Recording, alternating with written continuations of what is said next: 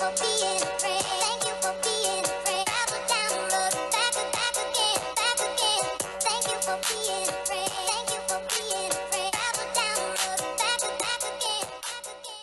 everybody, Goldie here, and today we're taking a look at the newest character in WWE Champions and uh kind of inevitable when they said modern era superstars in a Legends ilk, I think. Uh Roman Reigns. I love rockin' Reigns. Uh top tier name. Who does he look like? Sound off in the comments cuz so a bit of a funny little thing before I start the video. I sent this picture to my parents because like to me Shinsuke obviously looked like Michael Jackson. Um, Rhea totally looked like someone in Motley Crue. Uh, Kevin Owens, I don't know, Danny Zuko to me. But Roman, I don't know, it, like generic aviator, bomber jacket, mullet, rocker. So I sent the picture of him to my parents, and I'm like, who does he look like? Like, does does this awaken anything in you? And God bless their hearts. My father, who is 60, my mother, who is 58, um, they had no idea. So, uh, Joe Dirt. I don't know. The goatee's giving Joe Dirt. Anyways, um, he is a Legends era focused powerhouse. Coach ability at 26k. Purple gems do 30% more damage. And moves that generate purple gems will create three more purple gems. If there was ever a character that Dorothy Zbornak bag pulls, please God, let it be him. Uh, Link's Legend era gems do 10% more damage. Just the one standard set of gear. Um, not sure about the um, uh, Link, if he's going to be getting any of that. I will ask. Uh, but the first set of builds we're going to look at are move damage focused. That way we get all the takedown medals done first, and then we can switch over to Furies, and it's just a lot more cost efficient for me. Uh, we're going to start with a triple red build. The finisher, Superman Punch. 10 MP, deal 714,666 damage plus 89,333 bonus damage for every X break gem and pin the opponent. Shoulder block 7 MP, deals 670,000 damage. And choose a 5x1 area to make into Pyro Gems, which will modify all gems above it into X breaks when broken by you. And the 5 star move, the Samoan Splash 7 MP. Uh, deal 580,666 damage and choose a 5x1 area to swap into red gems. Entourage for this, we are doing move damage if my emulator ever loads. Probably gonna crash. Uh, Butch for red MP, Judgment Day Finn for yeah, this is totally gonna crash.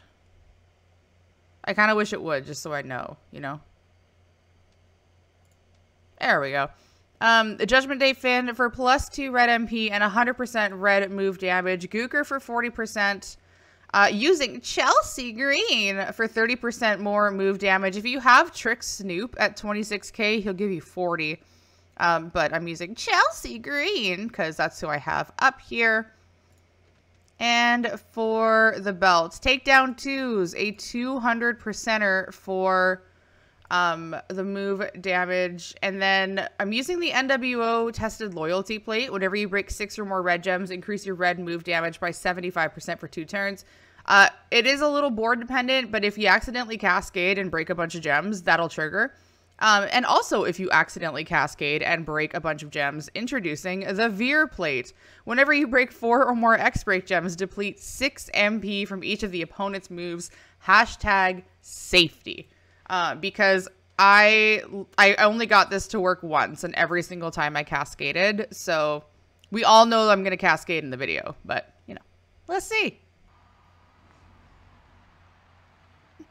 Joe Dirt is angry. All right. Uh, da, da, da. So finisher's doing 3.8, shoulder block's doing 3.6, Samoan splash is doing 3.1. So there's 10 mil in move damage alone. That's nasty, right? Um, I said this was board dependent. NWO plate, you need to break six. So I'm looking for something to attach this to. However, this is just this is just a mess. So probably not going to trigger here unless we cascade. Uh, choose a 5 by one Aria. Shout out to Grisan to swap into red gems. There's the wild card dropping down. Kind of wish it was a 4 by one to avoid the wild cards, but it is what it is. We trigger the plate. We drain the MP. We get to recycle. So now the finisher is doing 4.4. Shoulder block's doing 4.1. Samoan Splash is doing 3.5. Not horrible. Not horrible. What is horrible is this, you know, now they now every single red gem is on the bottom, but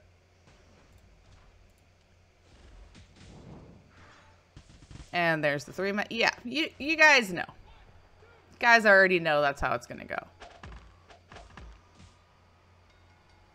I'm gonna run that one more time though, just because I want to actually see what the finisher does. So instead of laying out everything again, well, no, I have to lay out everything again though because it's damage per expert. Whatever, I'm just gonna try this again. I'm just gonna try this again, and um, you guys get the point here. There is another move damage build we'll look at, maybe a little safer, but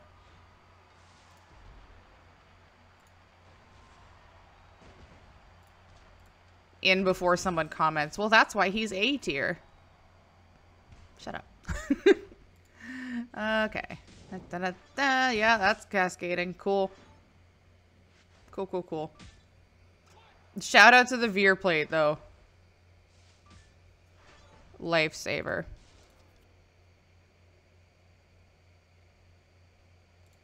Yeah, I gotta do this again. Oh, and then he... oh man. Come on, homie. Come on, big homie.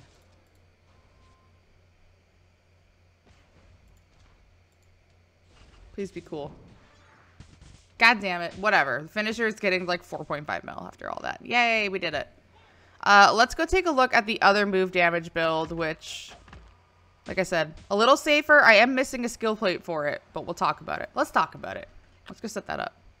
So another move damage build we're going to take a look at, taking out the uh, the Cascady, Cascady, I already forgot the name of the move, uh, the shoulder block, and bringing in the Leaping Clothesline 2 MP blue move. This is the four star move. Deal 53,600 damage and increase your red move damage by 100% for one turn does not affect bonus damage. Same entourage and same setup because, yay, if we can clip a red gem, cool. Uh, but I am missing a skill plate that would make this um, a lot stronger. Um, I do have the inverse. The inverse would be... Oh, right, I can't actually go into my in use because it's going to ruin my boss plate um, reveal. Um, so the inverse, checks notes, is Eternal Vigilance, which is a 4th of July plate. And that's whenever you break three or more red gems, get three blue MP. So if you have that plate, you could probably stack that, you know, three times in a turn without a cascade.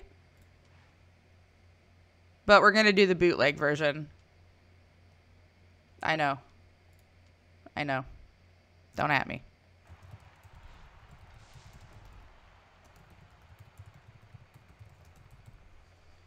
There just in case somebody decides to watch the video on mute which i honestly don't blame you. Uh, i am pretending to have an eternal vigilance plate. Lol don't at me. There. There. Okay. Uh, so 3.1 3.8 increase your red move damage. There is no animation. Hell yeah this guy is great you want a fast feud card? Uh, poster? Poster? poster? Uh, so 6.3, 7.7.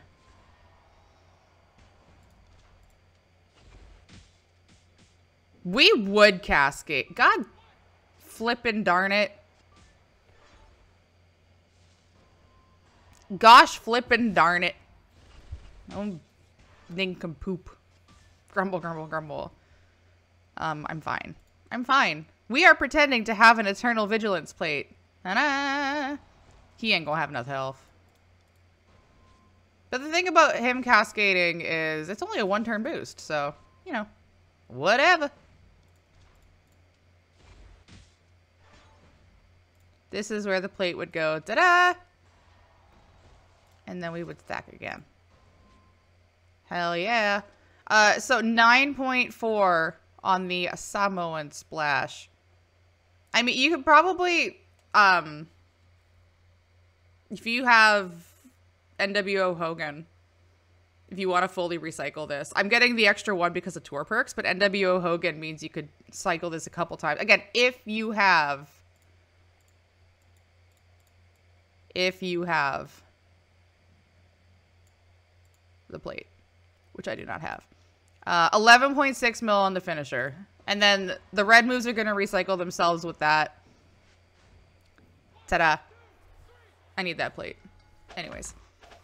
My goal is to get one of every MP plate, which kind of got thrown out the window because they came out with a bunch of new ones. Anyways, those are the move damage builds. Let's go set up some gem damage. So now we're going to take a look at this triple red again, but I have set it up to be gem damage based. Uh, Butch for Red MP. Piper Niven, I should probably use Davey Boy Smith, honestly, now that I think about it. I keep forgetting that he exists to um, negate her existence entirely. Uh, 45%. There we go. 45% um, to red gems plus two red MP. Omos, if you have his coach ability maxed out, it's 100%. I don't. Uh, Zombie Kane for more X break gem damage. If you have um, Hall of Fame Hogan, you could use him. Santa Hogan when in doubt. Uh, but we've switched over to Fury 2s. We are doing uh, the Braid Blade. Whenever you make six or more X break gems, increase all of your gem damage by 100% for two turns. And then the Lion's Gaze. Whenever you break four or more X break gems, deplete six MP from each of the opponent's moves. Um, he is a showdown poster.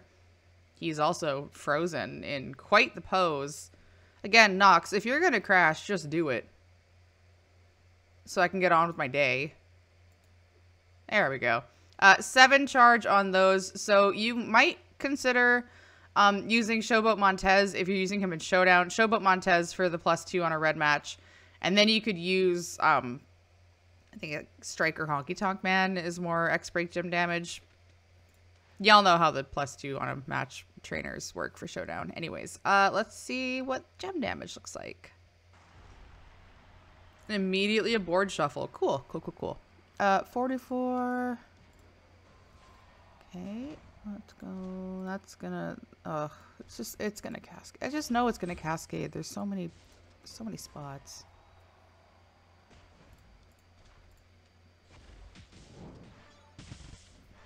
Mm-hmm. Mm-hmm. Well, three mil on an oops. And then that braid blade is going to stack, so.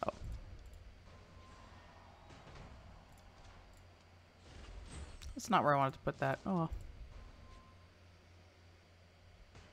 Oh, well. There's another cascade. Love it, love it.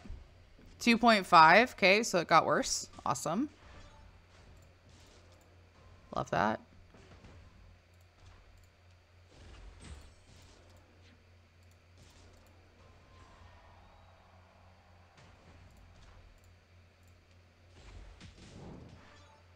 Oh, we did it. Okay, so we're up to three stacks of the, of the braid. So 96 on the reds, 105. There we go. Now, you could hit the finisher here, which we never actually got to do. Um, or you could do this, choose a 5 by one to swap into red, and use it to break a whole lot of reds. And the board goes blap, and you do 5 mil. Okay. I see this being more of a defensive annoyance build if you have a veer plate. I definitely see that being more of a haha, I keep cascading and draining your MP. Uh, but that is one gem damage build. Let's go set up another. Next gem damage build, we are taking out the finisher and we are bringing in the six star move, which is the Scoop Power Slam 8 MP. Deal 196,533 damage and increase your wild card gem damage by 55% for one turn. It's it's all gem damage. I don't know why it it says wild card gem damage. It's similar to Powerhouse Roman's six star move where it says something about wild card like it's all gems. I don't know why they can't code it to say all gems, but whatever. Now we know. Um, entourage for this Roxanne for plus four green and red. Tyler Breeze for plus two green, plus one red. Because if I use NWO Perfect, people get mad. Um, Omos, again, if you have him at 100%, even better. And then Santa for the 1 MP. So with this trainer setup, even without perks, this will be ready to go on turn 1. Uh, staying with the Braid Blade and the Veer Plate. So increase your gem damage when you make X breaks and then deplete opponent MP when you break them. So starting at 40k. Now we're at 62. Let's see if we can actually get this to to trigger without cascading. If it cascades, cool, whatever, because you want to blow up the board, but I'm more just curious to see what the gem damage is. Yep, go figure. Go figure. So 89 and a half. 96.2 on the reds. Go ahead and swipe and blow up the board. You are going to have to hope for a lot of green gems on the board to recycle. If you don't have a veer plate, I, is there an ultimate plate that... I don't know if there's an ultimate plate that actually throws out green gems, but that would be an option. I don't think that... It doesn't exist. I'm pretty sure it doesn't exist. Uh, Scopely, make one exist, please. Thank you. Uh, so Braid Blade means this keeps stacking.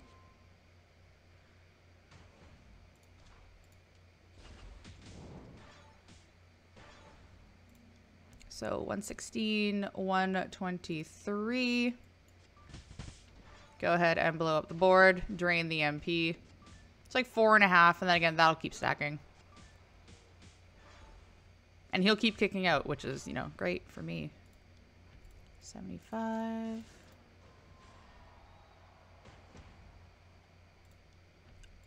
One sixteen.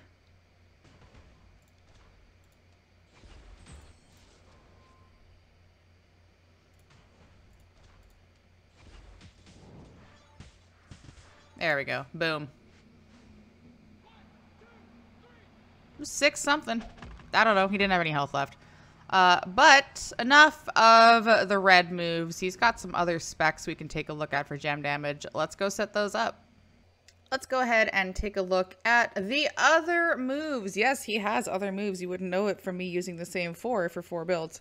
Uh, but the green set so the spear 8 MP green move deal 178,666 damage and make 25 random gems into crossbreak gems. This is a hardcore move.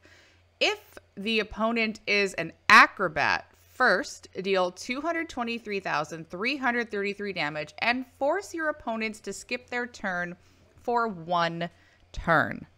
So we will be going against an acrobat. Keep that in mind. We are going to have class advantage on our gem breaks. Uh, green 2, the Samoan drop, 8 MP, deal 208,146 damage plus 84,866 bonus damage for every cross break gem. And blue 1, the Lariat takedown, 7 MP, deal 98,266 damage and increase your green MP by 7. Goldie, why aren't you running triple green? I'll do that later. Um, entourage for this, Lawler for blue, Hall of Fame Torrie for 50% to the cross breaks. I think she goes up to 100. I don't have her up there yet. I was concerned about tokens. Uh, but Hall of Fame Torrie for the cross breaks. Uh, Santa for the plus one, and then Zombie Cena for 25% more to the cross breaks, plus an extra cross break. So we're getting just short of 150 bonus damage every cross break gem. Fury 2s and a King Sheamus crown. Whenever you make four or more cross break gems, increase your red gem damage by 150% and your green move damage by 50% for two turns. He does have an ultimate plate coming out during the debut contest. I do not have it available for preview purposes. Uh, but it is a cross break ultimate plate that increases gem and move damage. I think it, I don't remember if it's whether you generate or when you break them. But that would definitely be the plate to use in this build or the triple green. Again, don't have it for preview purposes, but keep that in mind as well. It would make this build a lot stronger. And uh, let's see what we can get up to. So using the blue mood to load, I probably would just personally would do triple green, but again, it's a preview. I'd like to show all the moves. Stun the opponent, deal some damage, put out some random cross breaks. Now red cross break gems are doing 84k. regular red doing 71. Got a little more move damage here. Uh, 148 bonus damage. Slow this down just to see. So 3.8. 3.8, decent. Uh, and then take a swipe. Take a swipe. Let's take that one. Just shy of 2 mil gem damage. Again, a maxed out Hall of Fame Torrie would be preferred. I believe the Sheamus crown stacks. Yeah, it's two turns, so this is going to stack a little bit. For some reason, it never displays properly on the move damage.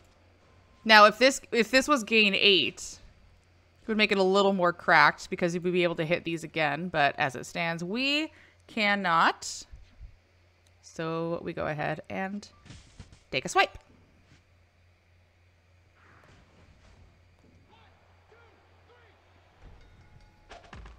So that's how that looks. But again, I personally would run the triple green. Let's go ahead and set that up. Last build, we're going to take a look at triple green. So bringing in the Scoop Power Slam, increase your all gem damage by 55% for one turn. Because these are all 8 MP moves, I am running double green MP trainers. So Steel for the 4, Big Papa Pump for 2, Santa Hogan for 1, I guess triple MP trainers. Uh, well, no, he's a coach. Anyways, uh, Santa Hogan for the 1, and then keeping on Zombie Cena for that extra cross break and a little bit extra damage. Again, he does have a skill plate that is cross break gem focused. So keep that in mind. And we're going to go up against a non-acrobat just to see what this looks like uh, without the stun and without the class advantage. So 40, 235, 274, 259. Yeah, we'll hit this one first because it's the lowest amount of move damage. And then it criticals, go figure. 66. Now these are doing... Yeah, the move damage for the green moves isn't that high, so I wouldn't do a takedown build with the King Sheamus. It's kind of just there as an extra, right? Maybe instead you do something that gives you um, green MP if you're worried about recycling. Like here, we only have three on the board. So probably going to suffer a little bit. This is where having the uh, the red, not the red, the blue move to load everything would be helpful. 2.9, yeah, and then no green cascades, so. Womp womp.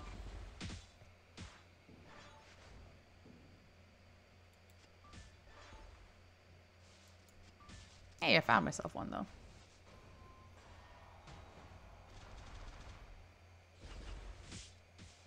So I feel like with the Crossbreak Ultimate, you wouldn't need the Sheamus Crown, and then that's where you could throw something in to help recycle a little more. Just my opinion, as the one that makes a preview. Uh, one, two, three, four, five, six. Perfect. So this should recycle. Bonus damage for the cross breaks. Increase the gem damage and then take a swipe. 2.9. Yeah, I feel like the, the new plate is going to be what makes this build viable. Not horrible, of course. If you're going against an acrobat, you're going to stun lock a decent amount of the time. But that move damage build is mighty appealing. Mighty appealing. And I also enjoy characters that have both available, right? Not just a gem damage person. Or not just a move damage person. He didn't even have a submission. What is this? What is? How are we to do a victory tour without a maxed out sub? Anyways, uh, let's go wrap things up. So that concludes our first look at Roman Reigns, Rock in Reigns. Again, a legend era focused powerhouse, coachability at 26k. Purple gems do 30% more damage, and moves that generate purple gems will create three more purple gems. Legends era Link gems do 10% more damage. Again, I don't know if he's going to have the Anoa'i Maivia link, uh, but I will ask. And uh, there you go, folks. What are we thinking of this? Is it the best Roman? I know a lot of people have been saying we need a new like God mode Roman. Um, is this him? Is this your king? Sound off in the comment section. Let me know what you think about. Um, also, and let me know who you think he looks like because I, I, yeah, generic, '80s rocker. Sure, let's go with that.